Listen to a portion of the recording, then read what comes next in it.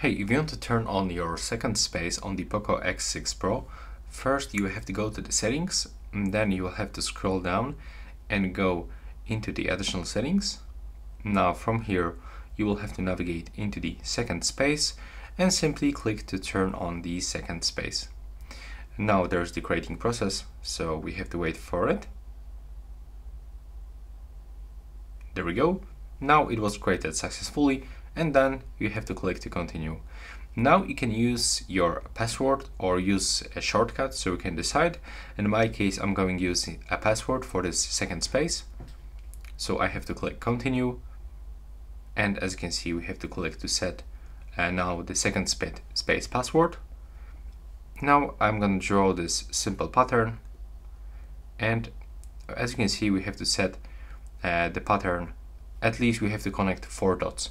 So this password, like few moments ago, it was your screen lock method, but now we can change this password. So I'm gonna actually put, okay, as you can see, we have to should, it should be different from first space password. So let's put, for example, this one. There we go. Now we have to draw it one more time and then click confirm. There we go. Now we can also set second space fingerprint to switch faster. So we can click to set now and now uh, we can actually use our fingerprint.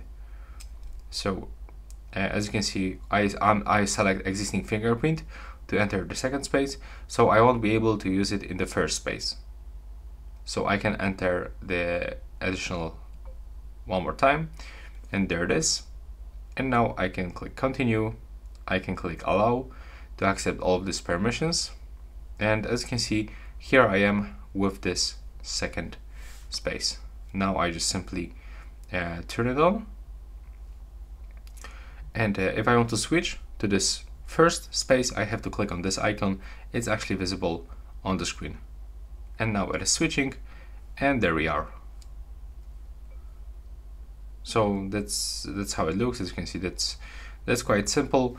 And uh, now if I want to go back for this second space one more time, I have to just click to go to the second space and input my screen lock method. So from here I can have whatever I want, any application, any photos, everything will be hidden uh, from this uh, from this first space. And that's how it looks right now. Please subscribe to my channel and see you in the next one.